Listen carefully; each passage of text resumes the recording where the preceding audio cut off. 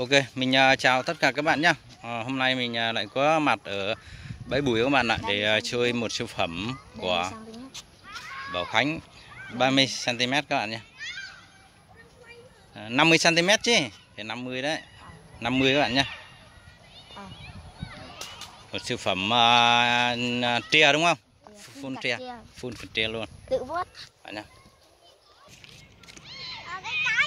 Rồi, bây giờ thì uh, Bảo Khánh sẽ đâm cho các bạn xem nhé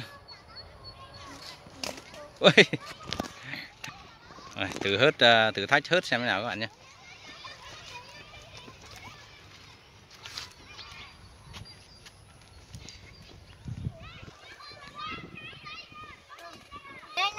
dài dây tí mà ra dây thêm chạy nó mới lên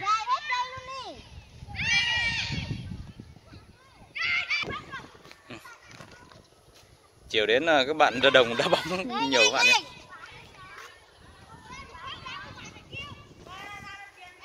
ui ui cọc.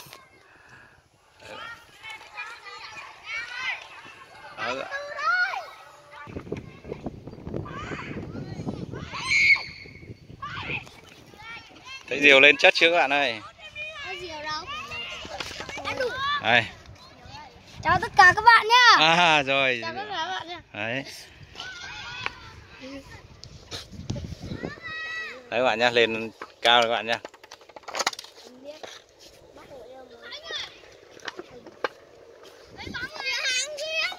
Đấy, đấy lên khá là chất luôn các bạn này. Đấy, vì túi bóng nên là nhìn rất là khó các bạn nhá.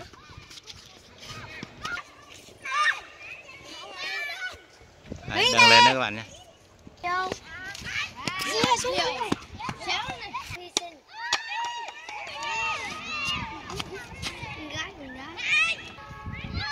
Khá chất nhỉ? Không cảm nhận thế nào với con diều ấy? thì nó rất chất lên chất. bao nét. Bao nét. Bao bảo bao bảo bao bảo luôn à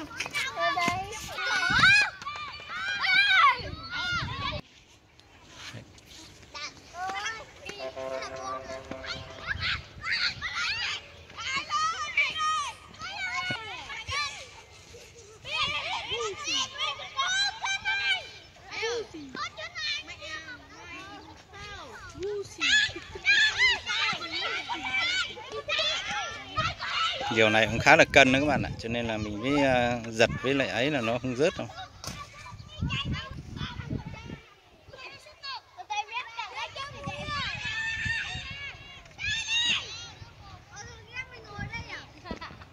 Và mình kết thúc video tại đây các bạn nhé Cảm ơn các bạn đã theo dõi. Và xem cho mình xin một like và một lượt đăng ký kênh các bạn nhé Chào và hẹn gặp lại các bạn ở video sau.